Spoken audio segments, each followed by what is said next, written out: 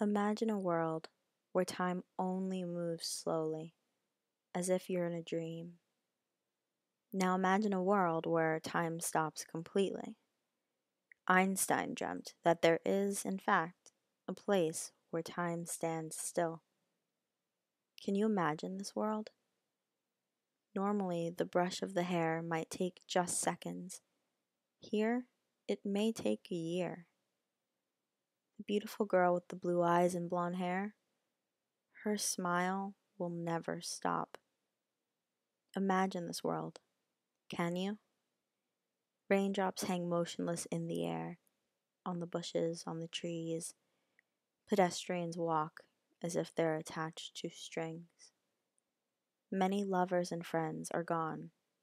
After all, lifetimes have passed.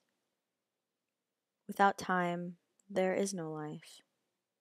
A world where time stops completely. Can you imagine this world?